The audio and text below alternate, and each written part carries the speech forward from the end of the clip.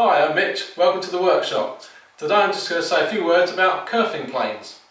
Now I've not been a, a big user of kerfing planes. Uh, it's only very recently that I received a kerfing plane uh, to review uh, that I started to, to use them. But I've used something similar in the past and I'll discuss that a little later on. The kerfing plane basically is a saw blade um, held in a bit of a jig which means that you can run it um, fence-like against a batten or whatever on a piece of work so you get a nice straight saw kerf which you can then use for other things. So it might be a saw kerf that defines the edge of a rebate, a dado, but probably more commonly if you want to rip a piece of stock to width you can use the kerfing plane to put in a nice kerf either side on the rip line and then that will help to guide your rip saw as you make that cut. So let's take a closer look. So in its simplest form really you've got a saw blade that gets fixed between two pieces of hardwood. You'd probably cut some sort of handle or grips on there so that you can get a good hold to do your sawing. And it's sawing in a planing motion, that's why it's obviously called a plane. Um, you basically run the edge of this, or either whichever edge you like, against the batten clamped onto your work and that just means that you can saw a lovely straight line as deep as the plane will allow you and obviously you can set the blade at whatever depth you like.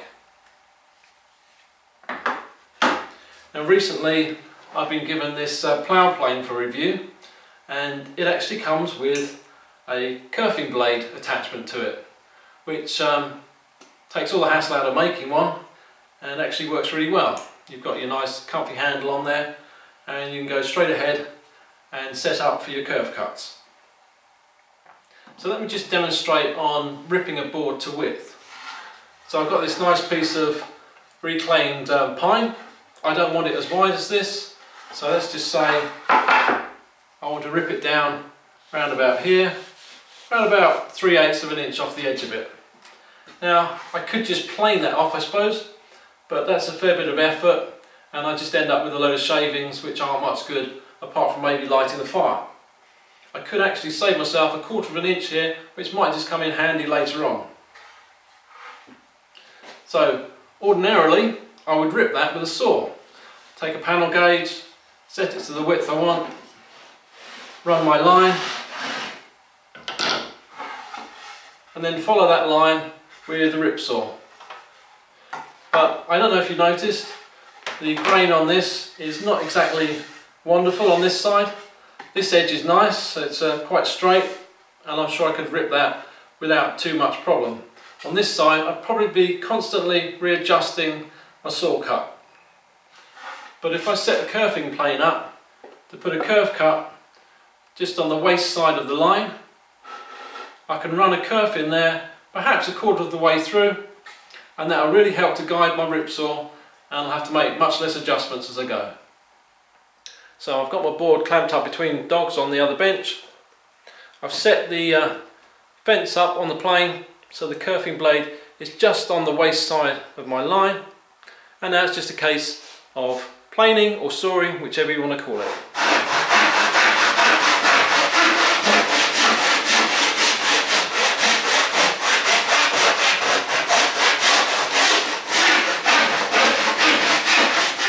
Now ordinarily I would do that on both sides of the board, same distance apart, so that my rip cut would just be through the central section. A bit like um, ripping a, a thick piece of stock on the table saw and then taking it to the bandsaw to finish the cut in the middle.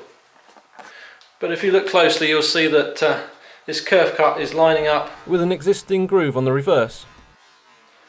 So now it's just a case of ripping.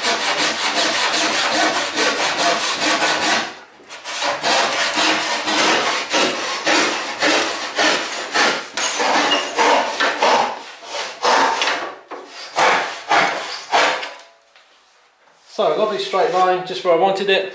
I can now stick that in the vise or on the shooting board and just shoot that edge nice and square.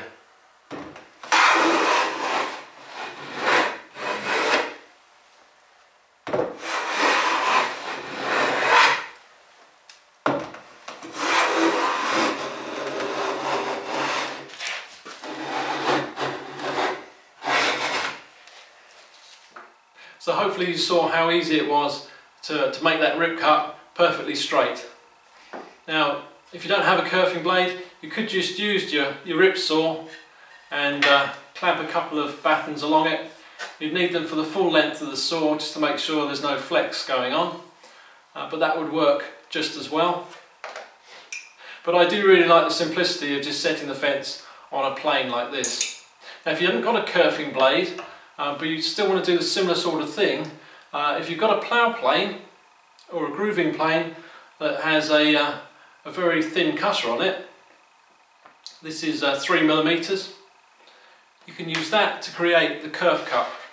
And obviously you're just doing a, a grooving cut with that, using the plane as normal. Uh, you do it both sides of where you want to cut. And then you just rip in between them. But having tried, that's the method I've used in the past, and having tried both methods, I must say that I, I do like the kerfing saw method. Well that's all for now, apart from that of course.